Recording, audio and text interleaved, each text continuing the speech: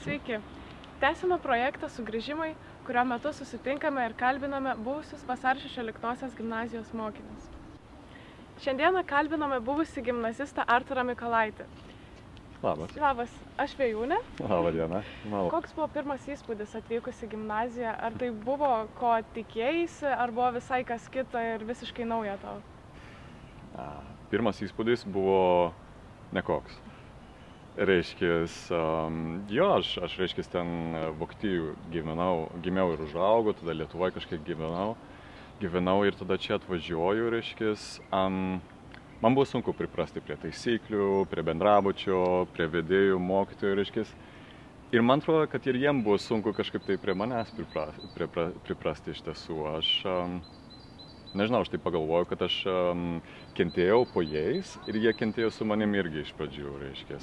Bet uh, aš labai labai džiaugiuosi, kad, uh, reiškia, tas pirmas įspūdis nebuvo tai, kas nulėmė tolimesnius mano, mano ryšius su gimnazistais, su mokytojais, uh, nes jie turėjo daug vilties. Jie turėjo, reiškia, pamatė, nu aišku, yra jaunas žmogus, biški padūkęs, bet jie turėjo vilties ir manim tikėjo.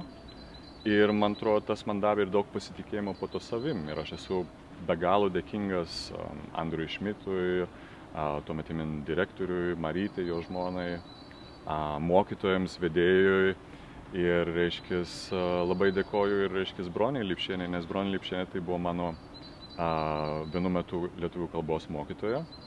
Yra ir mano teta. Ir iš tiesų čia paėmiau nuotrauką, reiškia, yra Bronė Lipšienė, mus paliko šiais metais. Tai aš šitą mūsų pokalbį norėčiau jai paskirti. Man labai mielas žmogus, kuris mane visą laiką manim tikėjosi, nepaisant tų pirmų įspūdžių, tarkim. Tau teko dirbti Paryžyje ir pastaraisiais metais Vienoje. Koks tai darbas, jeigu galima paklausti? Jo. Nu, mano darbas, reiškia, yra man pačiam ganėtinai įdomus. Yra, um, aš dirbu su valdžios uh, įstaigom nes mes visi kasdienybėje piliečiai arba įmonės susidurėm su valstybe, su vyriausybės įstaigomis, kadangi jos iš mūsų kažko tai reikalauja. Pavyzdžiui, reikia mokesčius mokėti, reikia kokį leidimą prašyti, jeigu nori statyti namą ar kurti įmonę, jeigu keiti gyvenimo vietą, reiškia, turi kažkokias tai anketas pildyti. Ne?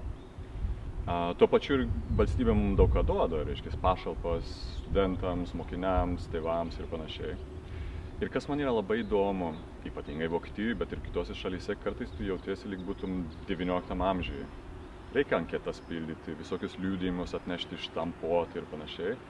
Ir tas nėra kažkaip tai natūralu, tarkim, 21 amžiuje. Tai aš padedu tom valstybės įstaigom suprasti digitalizaciją ir gerinti arba palengvinti piliečiams gyvenimą, kai, kai yra teikiamos paslaugos ne, viešos jeigu tu klausi, ką man davė gimnazija, tai yra biški, kaip tu matai čia tas paveikslas su tom plytom, reiškia, man gimnazija davė tą pagrindą.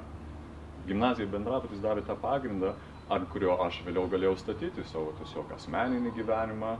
Aš čia užaugau, subrandau, reiškia, ir tada toliau ir galėjau savo statyti savo profesinį gyvenimą su to, ką aš išmokau per pamokas ir ypatingai ką išmokau šalia pamokų per užklasinę veiklą, per gyvenimą su draugais ir čia kartu gyvenam.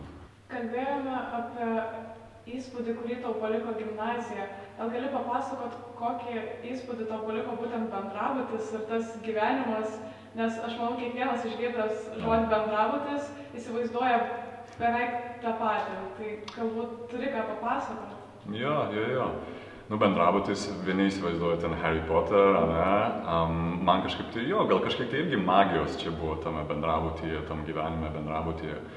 Uh, įspūdžių tikrai be galo jų daug yra. Ir gal vieną dalyką tik tai paminėti, kad taip uh, įsivaizduotum, kokius man įspūdžius paliko, tai buvo uh, tautiniai šokiai. Aš iš pradžių visiškai nenorėjau šokti tautinius šokius. Aš iš, aps, apskritai nenorėjau daug ką daryti, ne? bet mane skatino ir ten, reiškia, paragino ir tada Marytė Šmitienė, dainų, reiškia, tenai to tautinių šokių vedėja, kažką tai jo tiek paskatino, kad aš sakau, jo gerai, pabandysiu tautinius šokius. Ir man patiko, aišku, buvo muzika, draugai, šypsenos, ritmas, tai, tai tikrai labai labai labai patiko. Ir man pasisekė, kadangi tais metais, kai aš pradėjau, mes važiavome į dainų šventę Lietuvoje. Ne? Ir aš mačiau, čia yra nuotrauka, kur man teko ta garbė nešioti tą ženklą, ant kurio užrašyta vasario 16 gimnazija, Vokietija. Ir ten stovėjom stadione ir užgrojo, reiškia, Lietuva brangi. Mane tą momentą užėmė daug emocijų. Ir ko gero ne tik tai mane, bet buvo be galo įspūdinga. Ir tokių momentų gimnazijos ir bendravočio gyvenime buvo ne vienas, kurie man iki šios dienos yra labai įsimintini. Ačiū tau tiek už pokalbį, tiek už tos patarimus ir pasidalinimais savo įspūdžiais. Ir norėčiau palinkėti tiesiog toliau sėkmės tolesniuose darbuose ir gyvenime. Ir linkiu sugrįžti dažniau į gimnaziją bei bendrabuti. Ačiū. Na, ačiū, ačiū. Tau labai, labai ačiū už pokalbį.